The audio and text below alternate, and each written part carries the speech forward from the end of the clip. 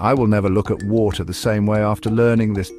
Saudi Arabia has zero rivers, yet it thrives. Let's see how. Saudi Arabia is a marvel of modern ingenuity. This desert kingdom has no rivers, yet its bustling cities and lush green spaces flourish. How? Two words, desalination and wells. First up, desalination. Saudi Arabia turns salty seawater into fresh, drinkable water.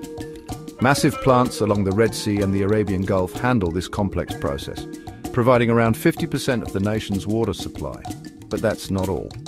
The kingdom also taps into underground reserves with artesian wells. These wells reach deep into ancient aquifers, bringing precious water to the surface. Oh, think of it as nature's hidden treasure chest. So next time you turn on the tap, remember the desert land that redefined water management. Saudi Arabia's innovative approach ensures that even without rivers, life can flourish in the most unexpected places. Pretty cool, right?